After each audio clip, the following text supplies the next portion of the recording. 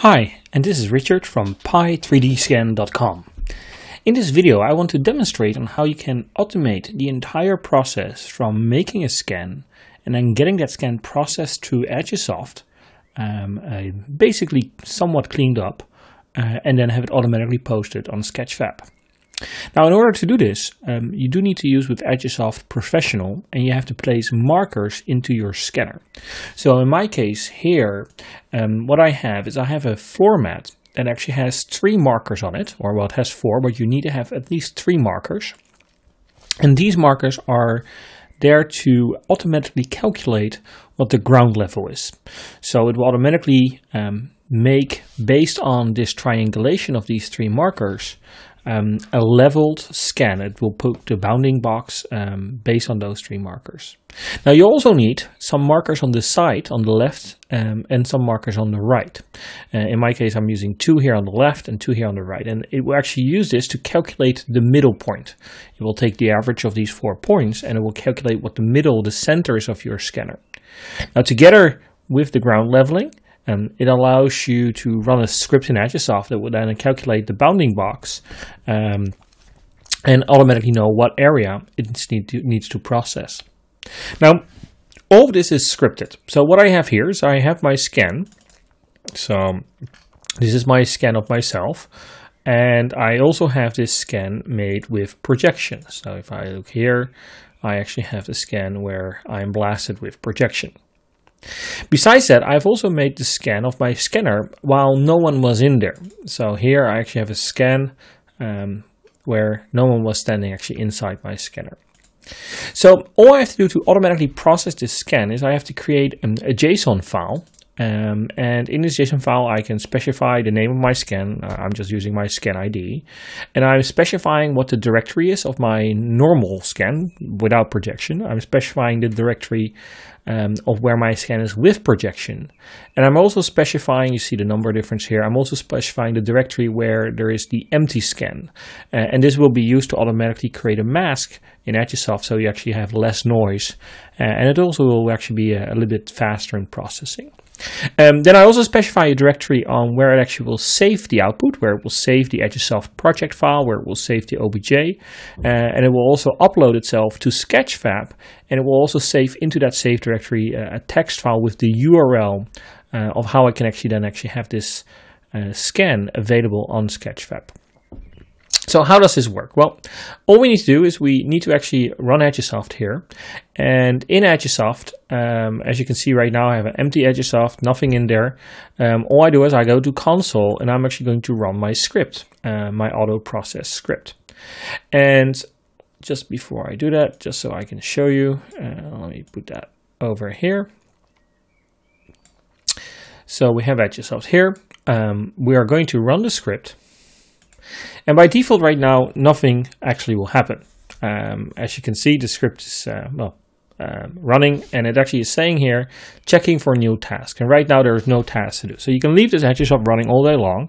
And every time that you have um, a process to that you want to scan all you need to do is you need to take your JSON file that I have here and actually copy that into the directory that the script is actually monitoring. In this case it's my monitor directory. So the moment I move that in here you will see that Agisoft starts working. It will now actually start processing the scan. Um, and it will actually um, do all the steps. So it will first um, uh, read in the image, the scan with, um, uh, with no projection, uh, and it will detect the markers on that. And it does that on the non-projection scan because then the markers are easier identified because actually the projection interferes with the markers itself. So we use the scan without projection on that. Um, secondly, then we will actually then automatically generate the masks. Um, if you don't want this, if you don't specify an empty directory, it will just automatically skip this phase. But in my case right now, it actually will automatically generate the masks. And after this is done, it will actually switch the images to the images with projection um, and then do the camera alignment. Uh, it will create a dense cloud. It will um, create a mesh. It does some basic cleanup. It will create texture. Uh, it will then actually um, save all the files. It will zip up um, uh, the files and it will automatically upload it to um, Sketchfab. So let's let this run and uh, I'll, I'll speed it up and you can see actually how it actually works.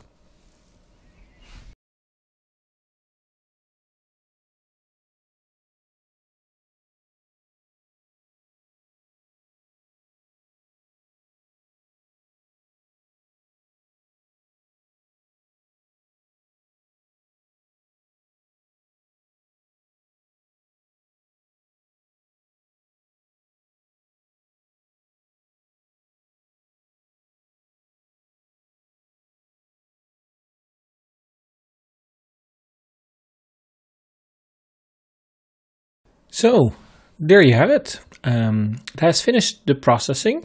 Um, and as you can see, we now actually have um, a workable model uh, in here, um, which I can't, the script is still running, so Agisoft is a bit slow. It's not really responsive, but um, you can actually see that the scan is, uh, is there. Um, and you'll see in the process directory that we now actually have our uh, texture file, our OBJ, we have our Agisoft uh, project file. We have a zip file, which is the OBJ zipped up with the MTL and JPEG. Um, and we have the Sketchfab URL. So if we now actually just open up this link, um, we can actually just open this up. And you will see that on Sketchfab right now, the model is being processed. Um, and when that is done, uh, the model will be available in Sketchfab. So let's have a wait for that. And there you have it. Um, we now have our scan uploaded automatically on Sketchfab. Uh, and as you can see, I mean, it's not a clean scan, of course, in any form or shape. There are some artifacts on the top of the head.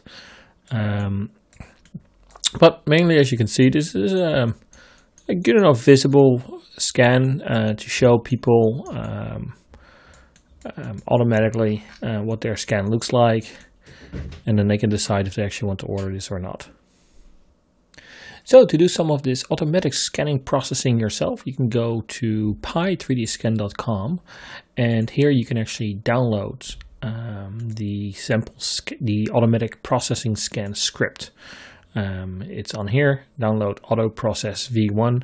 Uh, and you also find the instructions here written down on how to actually install the script. Um, you need to copy one particular file uh, into the Python library of Photoscan. Um, and you can download the PDF for the format if you want to, uh, but you can also use a normal A4 sheet with printed out markers that you can lay on the, on the, on the floor. As long as you have three markers that are at a 90 degree point uh, from each other, uh, you should be fine. Now, the wider the markers are, the more accurate you get your ground leveling, uh, but you can choose to use just an A4 sheet or a big A1 sheet that I actually am using here. Uh, and then, of course, you can put your markers in there. And finally, you have to just create your JSON files uh, to start automatically processing the scans. So, thank you for watching um, and good luck with your scanning.